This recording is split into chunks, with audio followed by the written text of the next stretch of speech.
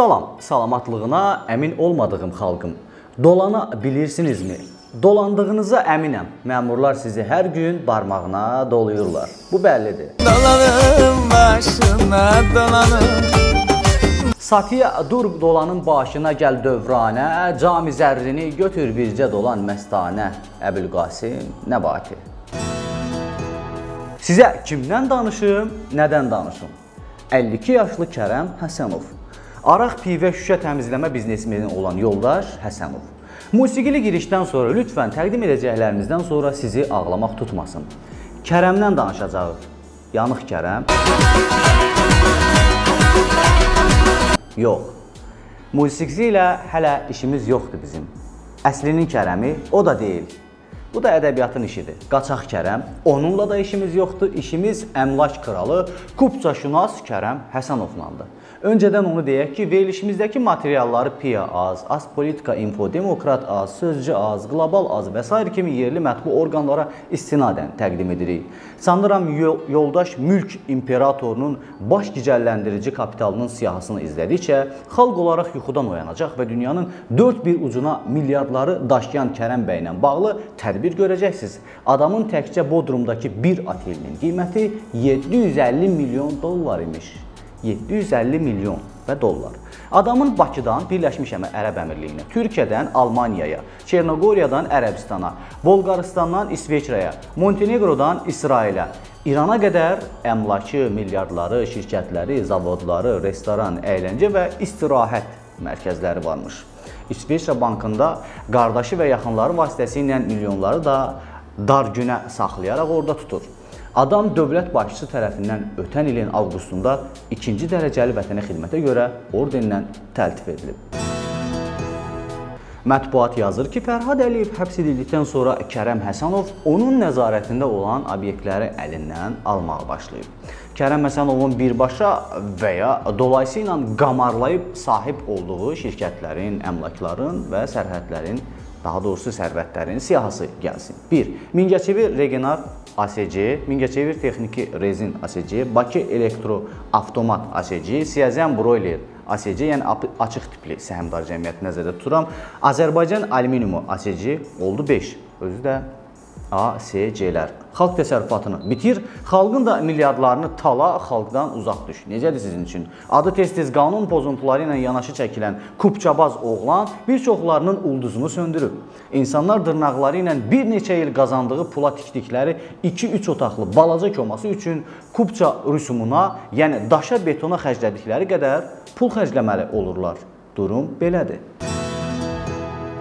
Davam edirik. Daşkəsən filiz saflaşdırma ASC, Azər Elektroterim ASC, Azər Boru ASC, Bakı Elektrik Şəbəkə ASC, Sumqayıt Elektrik Şəbəkə ASC. Bu artıq 10-cu böyük ASC-dir. Yəni açıq tipli səhmdar cəmiyyəti. Azinko Holding. Bəli, bəli, bir neçə şirkətin birləşdiyi holding, yəni şirkətlər qrupu. Xəzər rayonu Gürqan qəsəbəsi dəniz kənarındakı tikili də Kərəm Həsənovun yaxınlarına adına rəsmiləşdirilib. 50550 kvadrat metr. 50550 kvadrat. Suraxanlı rayonu Hövsan qəsəbəsində yardımçı təsərrüfat, tikili altı sahəsi 1300, torpaq sahəsi isə 47000 kvadrat metrdir. Xəzər rayonunda başqa bir əmlakı da qeyd eləyək. Olsun 14 Şuvalan qəsəbəsində maşın qayırma pansionatının yarımçıq tikilisi, tikili altı sahəsi 600 kvadrat metr, torpaq sahəsi isə 127022 kvadrat metr. Xəzər rayonunda, yəni Mərdəkan qəsəbəsində dəniz yolunda başqa bir mülkü də deyək, olsun 15, tikili altı sahəsi 220 kvadrat metr, torpaq sahəsi isə 8400 kvadrat. Bəli, dəyərli seyircilər, məlumunuz olsun ki, komitə sədrinin adı zaman-zaman ən qaranlıq işlərdə hallansa da, hansısa gizli əl onu qoruyub. Bir vaxtlar o özü kobudluğu və mətbuatda xalqı, dindarları aşağılaması səbəbindən tənqid hədəfi olan Elmar Vəliyevi İsrailə aparması ilə gündəmə gəlmişdi.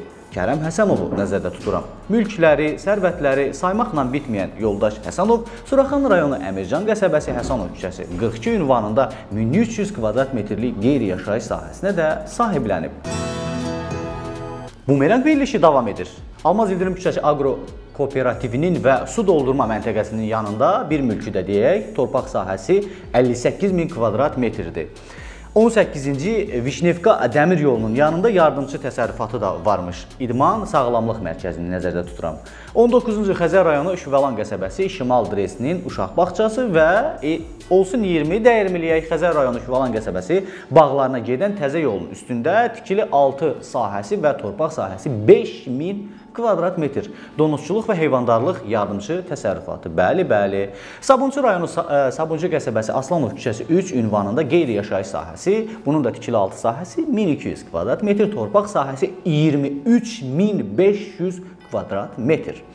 Bəli, Kərəm Həsənovun mülklərindən, əmlaklarından danışırıq. Studiyada Arzu Sayadoğludur. Sabunçu rayonunda Bakıxanov qəsəbəsi Sülh küçəsi 1A keçmiş keyfiyyət evinin də deyək, onun da tikili 6 sahəsi 960, torpaq sahəsi 3000 kvadrat metrdir. Xəzər rayonunda Şivalan qəsəbəsində Az öncə dediyimiz kimi Almaz İldırım küçəsində 39 ünvanında rayon maliyyə şöbəsinin köhnə 2 mərtəbəli 1756 kvadrat metrlik binası da Kərəm bəyin yaxınlarının adına rəsmiləşdirilib. Dəyərli izləyicilər, adamın pulu okeanları titrədəcək qədər çoxdur. O qədər çox ki, onun bacısı Reyhan xanım Ağarzıyeva qardaşı Kərəm bəyin nazir təyin edilməsinə 1 milyon manat verəcək qədər və verib də bu pulu. Mətbuatın yazdıqlarına görə kəlməsinə qardaşı Malik Həsənovu deputat da təyin etdirib Kərəm bəy Həsənov və çevrəsindəkilərə əzələ nümayiş etdirərək yoldaş Həsənov hoqqaları, sərgüzəştləri ilə öz işini bununla bitmiş hesab etməyib. Siyahıya qaldığımız yerdən davam edirik. Xəzər rayonu Buzovna yolunda Mərdəkandan Buzovnaya gedən Yolun sol tərəfində SMD 26-nın əmlakı və torpaq sahəsi də yoldaş Həsənovun yaxınlarının adındadır. Xətai Mexanizasiya ASC-nin nəzarət səhm zərfinə də deyək və 26-cı Bəhramtəpə Qumçınqıllı ASC-nin nəzarət səhmi. 27-ci Nəsimi rayonu Səməd Vurğun küçəsində yerləşən Bakı şəhər yol polisinin köçmüş ərazisi bəli, bəli. 28-ci Zərdabi küçəsində Ticarət Nazirliyinin keçmiş qarajının yerində hündür mərtəbəli binaya şərikliyi, yəni Papani körpüsünün yanını deyirəm. Nizami rayonu 8-ci kilometr bazarı, elə belə adam deyil axı Kərəm bəy. Xalqdan taladıqları ilə özünü dırnaq arası hörmətli oğlan kimi göstərməyə çalışan yoldaş əmlakbaz oğlandır axı. Mülk Allahındır ifadəsini əlinin tərsi ilə itələyərək mülk Kərəmindir deyərcəsinə ölkədə gözünü qamaşdıran yerlərə hasar çəkdirib yiyələnir adam. Bəzən də bir çox məmurlara, oliqarxlara meydan oxuyarcasına mənim sözüm sizdən üstün olacaq kimi ultimatumlar da göndərir. Axı o milyarder olsa, mətbuatdan xalqdan taladıqları ilə bağlı, bağlı adı dəfələrlə korrupsiya əməlləri ilə yanaşı çəkilsə də, ötən il dövlət başçısının yardımçısı təyin edilərək administrasiyada dövlət nəzarəti məsələləri şöbəsinin müdiri kimi özünə yer edə bilmişdi. Adı ən böyük torpaq maxinasiyalarında hallansa da. 30-cu Ələsgərov küçəsində 6-12 ünvanında hündür mərtəbəli binaya şərikliyini də deyək, Xəzər rayonu Mərdəkan qəsəbəsi Tağıyev küçəsində yerləşən Rabitə və Yüksək Texnologiyalar Nazirliyinin balansında olan qeyri-yaşayış binası da. Bəli, bəli, adamın əmlakları saymaqla bitmir. Tikili altı sahəsi 120 kvadrat metr, torpaq sahəsi 9000 kvadrat metr. 32-ci və eyni zamanda 33-cü kənar şəxslərin adına rəsmiləşdirilən Nərimanovda və Sebalı rayonunda villa və mənzillərini də deyək, 34 və 35-ci Hacıyev küçəsində 2 mənzili.